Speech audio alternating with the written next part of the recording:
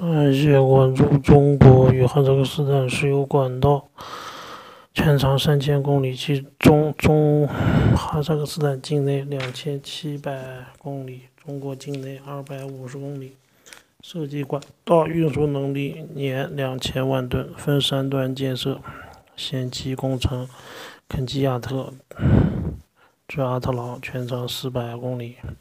输油能力六百万吨，由中石油集团和哈萨克斯坦国家油气公司共同出资修建。零二年五月二十四日公开工，零三年三月二十八日投产。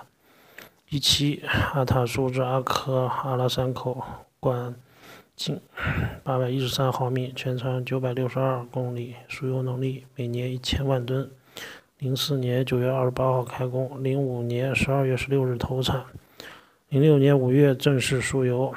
二期肯吉亚克阿塔苏全长一千三百公里。除原油管道外，哈萨克斯坦还有通往俄罗斯奥伦堡的输气管道和通往中国的输气管道。其中，中哈天然气管道一期为中国中亚天然气管道的哈萨克斯坦境内部分，全长一千三百公里。零七年动工，一零年完成。运输能力每年三百亿立方米。中哈石油管道二期与哈萨克斯坦曼戈斯陶州，在南哈州的西莫坎特与中国中亚天然气管道全相连，全长一千四百公里，设计输气能力一百亿立方米，可控制扩充至一百五十亿立方厘米。